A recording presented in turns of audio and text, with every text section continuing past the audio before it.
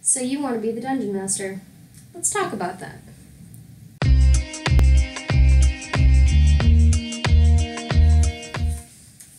So here's the thing. I hear a lot of people say, man, I really, really want to dungeon master my own game. And all I ever get when I say, well, why don't you?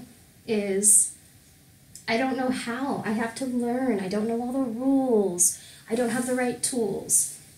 Just do it. You're not going to become a better DM by not dungeon mastering.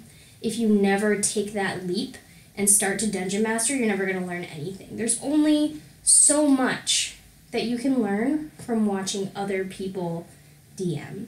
So, a big part of it is building up your confidence.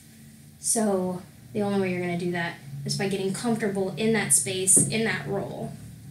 Um, so, yeah, just do it. Do it. So, here's the thing we all sucked in the beginning. Every last one of us, myself included. Matt Mercer probably sucked when he first started, Chris Perkins, everybody. All those people sucked at their first game of Dungeons and Dragons as the DM. It's just a fact.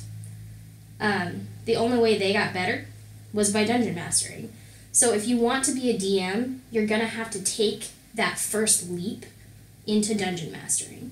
Just do it. Say, hey guys, I want to run a game. Who wants to play in my game? And I highly recommend just do a module for your first game. It'll build up your confidence a lot more. It's a little bit easier to follow. You can do a lot of reading and feel more comfortable with the material going into it versus trying to create everything yourself.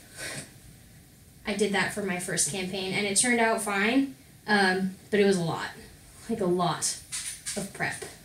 One of the things I always hear people tell new DMs too, and this is great advice because I definitely did not do this, is don't over prep.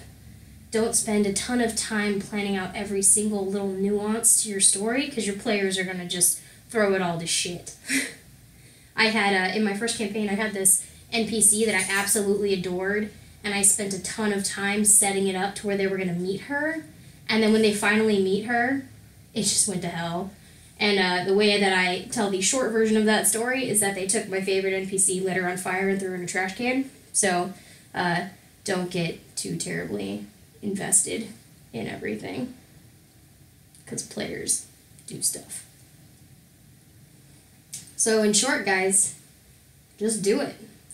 Take the leap. Uh, you don't need that much stuff to run a game of D&D.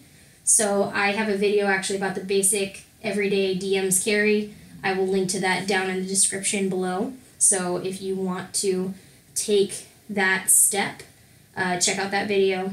It's like maybe four or five things that you probably already have or you have access to through a friend to be able to try dungeon mastering your very own game. So good luck, guys.